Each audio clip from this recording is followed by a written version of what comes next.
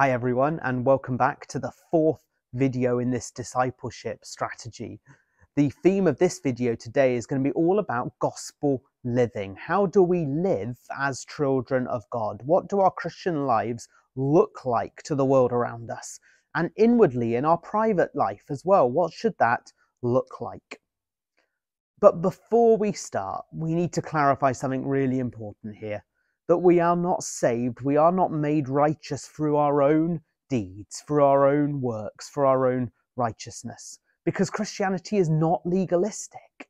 We are entirely reliant on Christ's work on the cross, on his imputed righteousness that is given to us. For on the cross, all of our sin, all of our muck is given to him, and he gives us all of his righteousness. So it's not down to what I do before God that makes me holy. It's not down to what I can achieve in this life and how many battles I can win with sin that will make me stand upright before God. No, it is what He has done for me that matters at the foundation. So Christianity is not legalistic. We cannot climb the ladder up to God through our own works and deeds. We are entirely reliant on what He has done. But the Bible tells us that we are called to holiness. We are called to live holy lives, to live lives that are pleasing before God. We are not saved by our good deeds, but we are saved for good deeds. And our new freedom in Christ does not give us license to sin. It doesn't give us the license to keep on living in the way that we did before we became Christians. Instead, the essential mark of the Holy Spirit dwelling within us is that we change, that we become more Christ like, that we start to fight battles against the sinful nature, that we start to win these battles.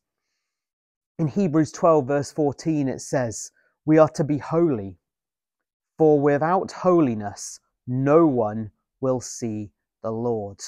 We are to be holy, for without holiness, no one will see the Lord. John Piper writes that killing sin is not optional.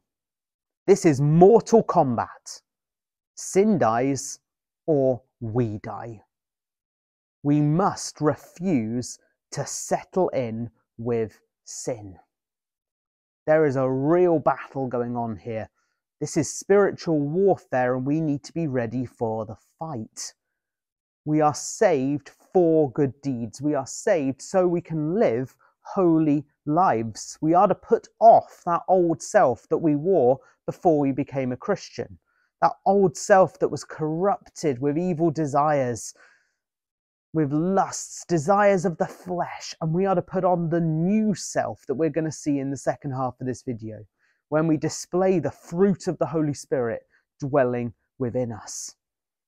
If we look through Romans 6, it's very clear that because we are in union with Jesus Christ, we must no longer live in the flesh anymore. To live according to the uh, desires of the flesh, we must count ourselves as dead to sin, but alive to God in Christ Jesus. That's Romans 6 11.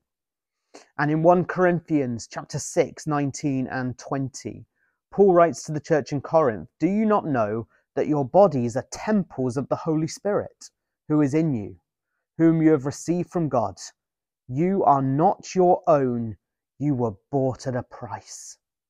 Therefore, honor God with your bodies.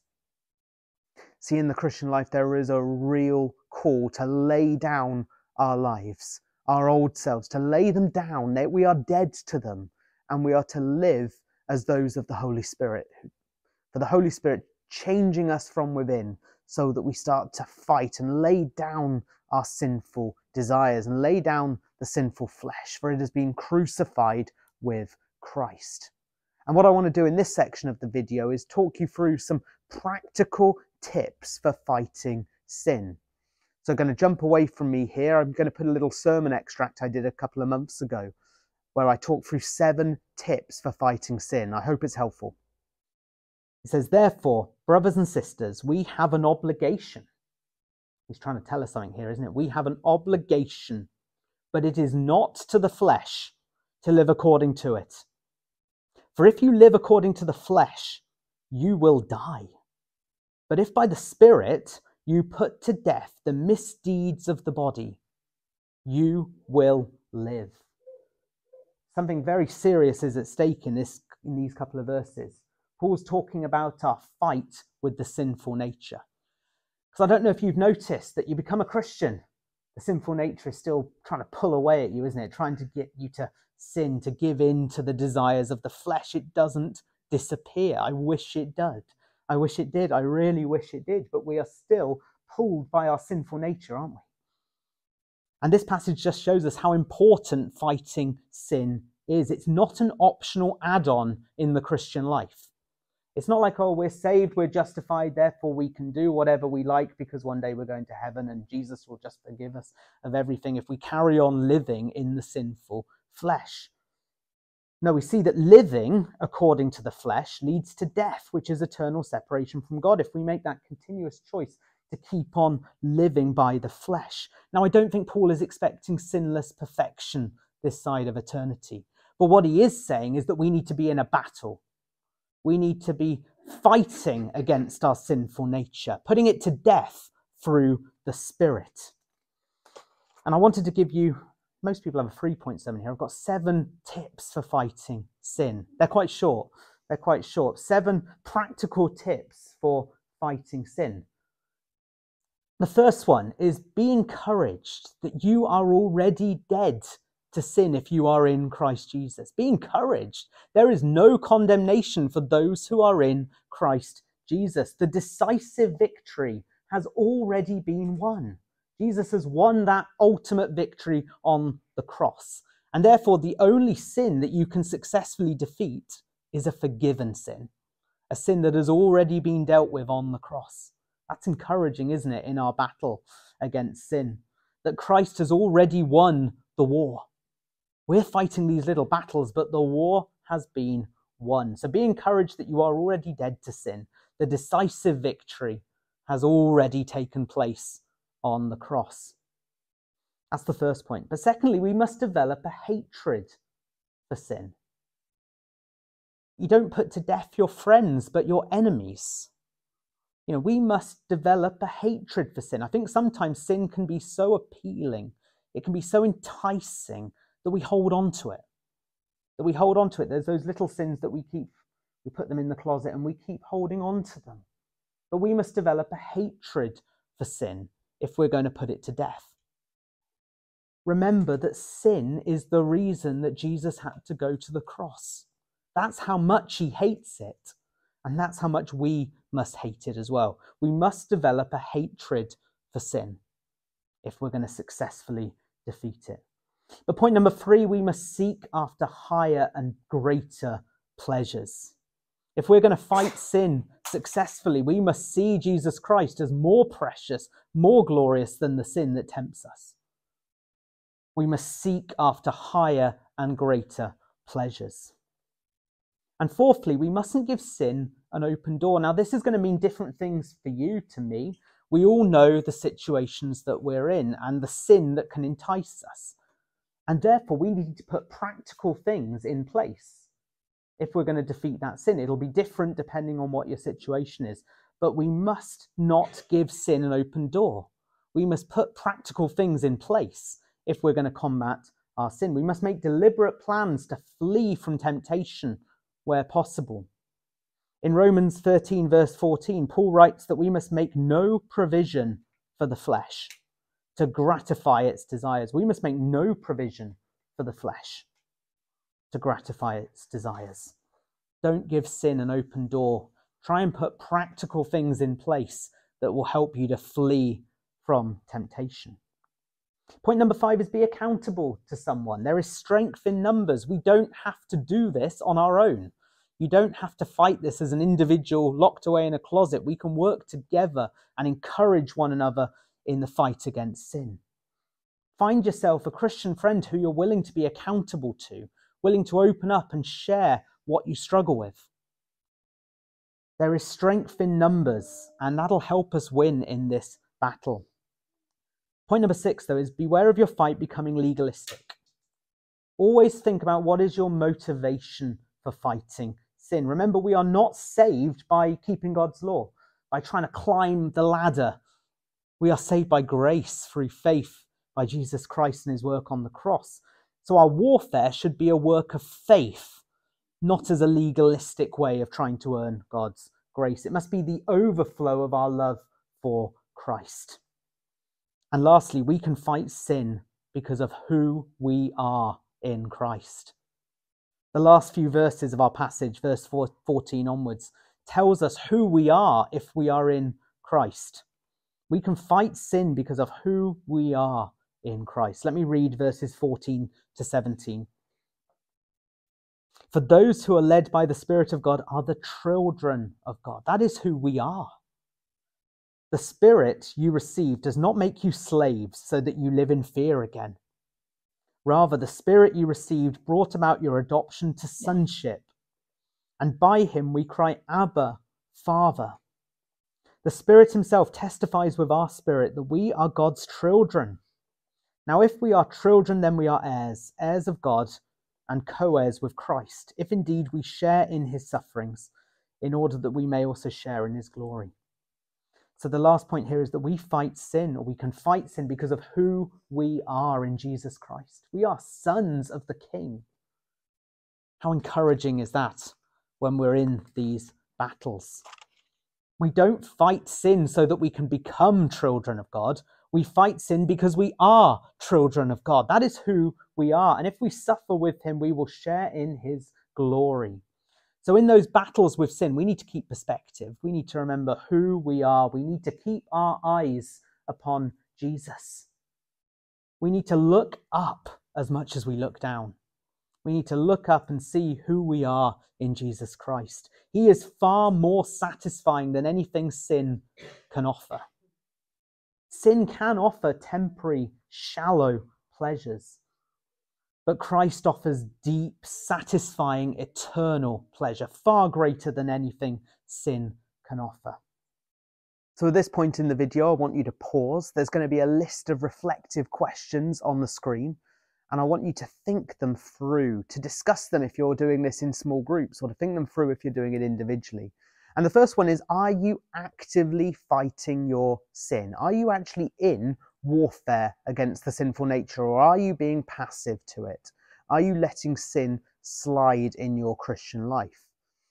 But if you are fighting sin, then what is the motive? Why are you doing it? What is the purpose for you fighting sin? Is it a work of faith? Or is it a legalistic battle as if you're trying to climb that ladder back up to God through your good deeds and your holy living? And thirdly, then, if you are fighting, what strategies have you put in place in your fight against sin? What practical measures are you doing in your Christian life? It's so important that we actually put proper strategies in place so that we fight. Everyone has their own temptations, their own desires. You know yourself better than I do. And you've got to think, well, what practically can I do to fight my sinful nature? And then question number four do you hate your sin? Or is it your secret best friend? We really need to be people that hate our sin, that are repulsed by it, that remember that it is the reason that Jesus went to the cross because of our sin. We need to hate our sin, it needs to be our enemy. And then, fifthly, do we value Christ as more precious than any earthly pleasure? when we're tempted by that sin, do we see Christ as more precious? Do we see him as more beautiful than what that sin is? We need to be people that value Christ above all things. And how aware are you of Jesus being Lord of your life? Can you see the changes starting to take place? Do you live for yourself or do you live for Jesus Christ? Really tough questions, guys but it's worth taking the time to reflect, to discuss, and to pray over these questions.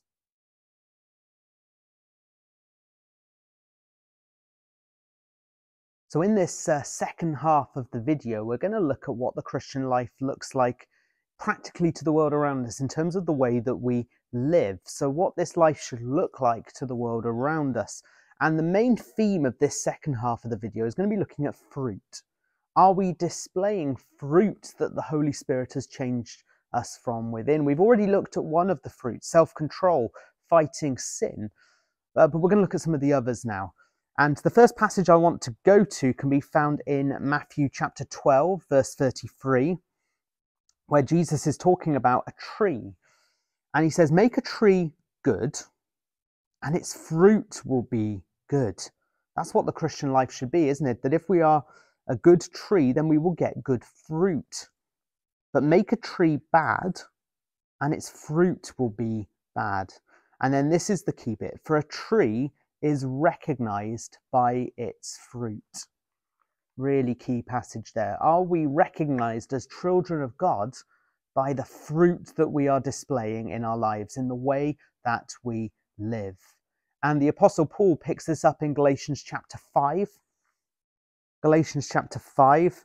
Let me just read a couple of verses, 22 and 23, where he's talking about the fruit of the Spirit. So the fruit that we have been changed and that our, the Holy Spirit is dwelling within us. And it says, But the fruit of the Spirit is love, joy, peace, forbearance, kindness, goodness, faithfulness, gentleness, and self control. Against such things there is no law. Those who belong to Christ Jesus have crucified the flesh with its passions and desires. And since we live by the Spirit, let us keep in step with the Spirit. So, when the Holy Spirit moves within, there has to be changes. What I want you to do is to take some time now to read through slowly that passage again, to weigh yourself up against those different fruit, to pray to God about it, to thank Him for the areas in your life where you are becoming more Christ like, where you can recognize that fruit. So pray in thanksgiving for those things, but also pray for the things where it, your life doesn't measure up, where you're struggling to live like that, and ask for the Holy Spirit to help you in this. So I want you to take a bit of time now just reflecting on that list that was in Galatians chapter 5. And as we come to a close, we're going to undergo another spiritual assessment like we've done in the other videos. So on your screen at the moment, there should be 10 statements. And what I'd like you to do is to work through those statements slowly, either by yourself or in a group, if you're doing this in house group or in, in a friendship group. Take each of those statements and score yourself one through to five, where five is always and one is never. And just reflect prayerfully on those statements and ask the Holy Spirit to help you to grow if there's any that you feel that you're uh, deficient in or that you want to grow in more. And as we close this video, I think it'd be really good if we prayed together about the things that we've been looking at.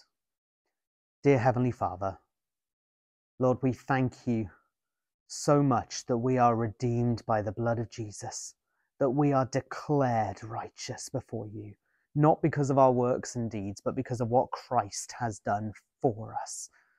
Oh, we thank you and we praise you for that.